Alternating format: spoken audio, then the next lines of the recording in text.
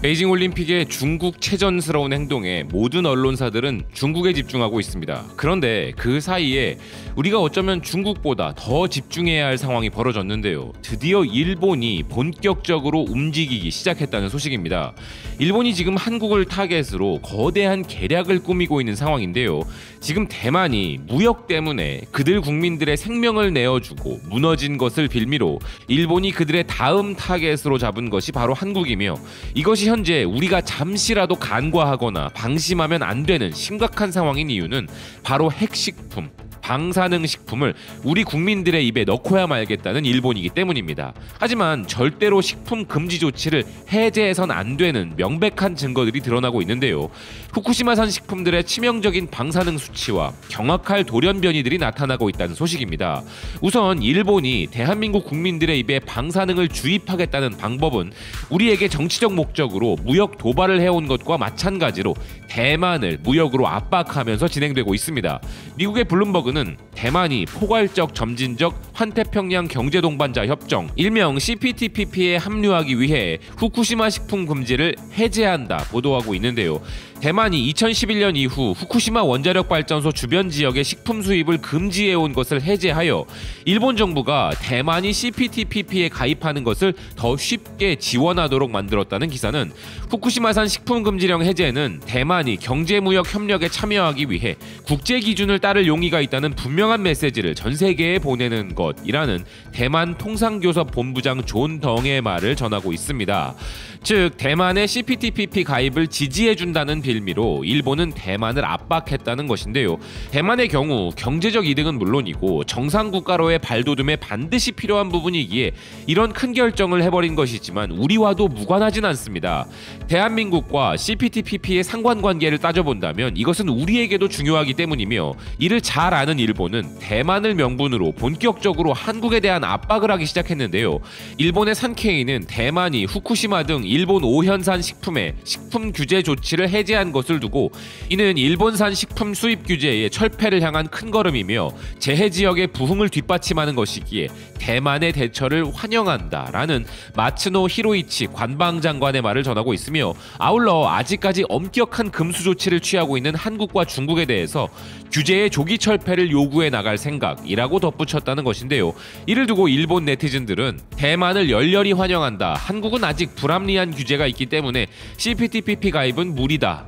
대만도 후쿠시마산 식품이 핵식품이라고 부르는 경우도 자주 있고 나쁜 이미지를 갖고 있었던 것 같은데 이렇게 해제된 것은 의미가 크다 생각한다. 대만과 일본은 형제다 라는 등의 반응을 보이고 있습니다. 우선 짚고 넘어가야 할 것은 대만도 모두 찬성하는 것이 아니라는 점인데요. 타이완 뉴스는 대만의 국민당이 후쿠시마 식품 수입 개방을 규탄하고 있으며 핵식품 수입 금지는 국민 투표로 승인된 것이었음을 명확히 밝혔다 전하고 있습니다.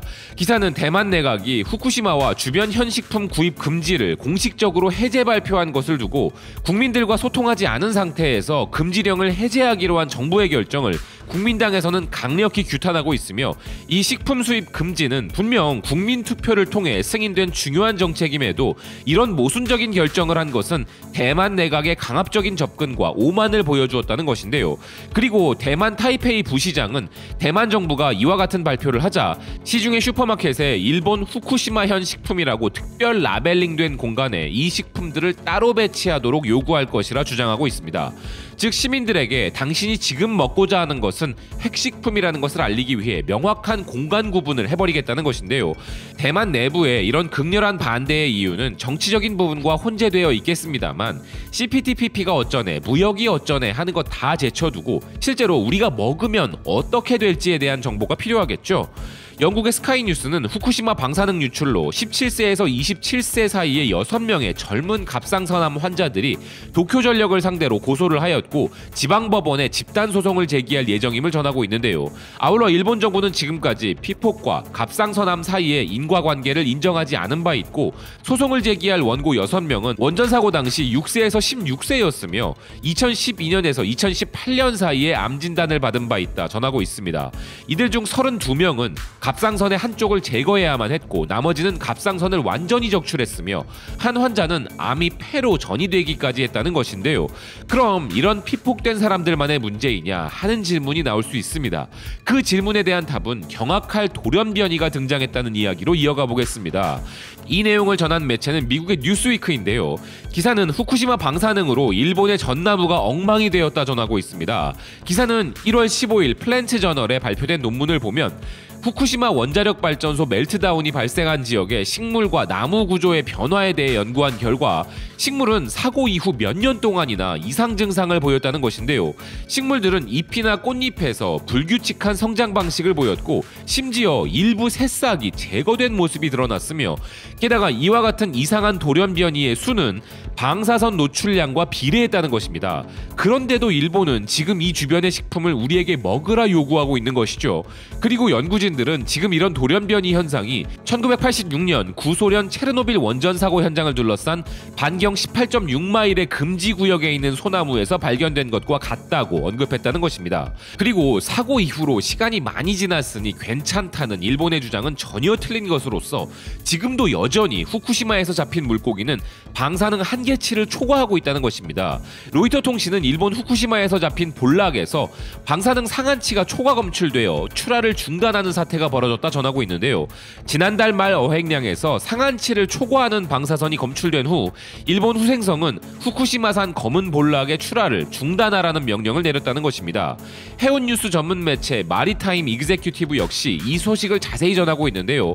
후쿠시마 원자력 발전소 사고 후 10년이 지났지만 방사능은 여전히 후쿠시마의 어업을 괴롭히고 있고 1월에 실시한 검사에서 과도한 수준의 방사능이 발견되어 볼락 운송을 중단할 것이라고 일본 당국 이 발표한 부분을 전하고 있는 기사는 실제 이 생선에서 방사선 허용 수준의 무려 5배에 달하는 무려 5배에 달하는 킬로그램당 500베크렐의 방사성 세슘 수치가 나왔다는 것입니다. 또한 이 물고기들을 잡은 곳은 해안에서 4해리 약 7.4km 떨어진 지역이며 이게 얼마나 심각한 것인지 비교하자면 일본의 서부 해안에서 잡힌 참다랑어에서는 이것의 500분의 1의 방사능 수치밖에 나오지 않는다는 것을 전하고 있습니다. 또한 기사는 발전소 주변은 현재 심하게 오염되어 있으며 일본 정부가 토양을 제거하는 방식으로 거주 지역을 구제했지만 농지와 숲은 그렇지 못하고 지표면 토양층에 위험한 방사성 동위원소가 풍부하게 남아 있으며 이 오염은 비가 오면 하천으로 흘러 들어간다는 것인데요. 그런데도 지금 국제 원자력 기구 IAEA 전문가 팀은 일본의 오염수 방출 계획을 검토하고 있습니다. 이 계획에 대해 일본의 아사히는 2023년 봄부터 시작해 수십 년 동안 바다로 오염수를 방출할 일본의 방류 계획은 지역 주민과 어업계, 심지어 해외 정부들의 거센 반발에 부딪히고 있다 전하고 있습니다.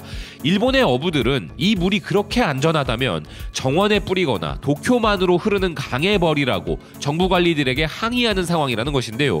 무역이 큰 비중을 차지하는 우리에게 CPTPP는 중요한 협정이고 정부 역시 가입을 추진하고 있습니다. 그렇기에 이와 방사능 식품을 두고 교묘한 계략을 추진 중인 일본인데요. 당연히 우리 정부 당국은 오염수 방출 문제와 후쿠시마 식품 수입 금지는 CPTPP와 별개의 사안이라고 선을 그었지만 상당한 진통이 따를 수밖에 없는 상황입니다. 무역이 아무리 중요해도 국민의 생명, 건강과 바꿀 수 있는 것은 그 어떤 것도 없다는 현 정부의 방침은 계속 유지될 것이기에 현 정권의 퇴임까지는 걱정하지 않습니다만 어떤 방식으로든지 간에 앞으로 더욱 거세게 일본이 압박해올 것이기에 한 달 후 차기 대통령이 누구로 결정되던지 간에 차기 정권 역시 이 부분에 대한 의지만큼은 절대 꺾이지 말아야 할 것입니다. 대만의 시민들은 고작 반대 목소리를 내는 것으로 끝날지 몰라도 대한민국의 국민들은 단순한 외침만으로 끝나지 않는다는 것을 차기 대한민국을 이끌 지도자는 반드시 명심해야 할 것이라는 생각입니다. 시청해주셔서 고맙습니다. 또 뵙겠습니다.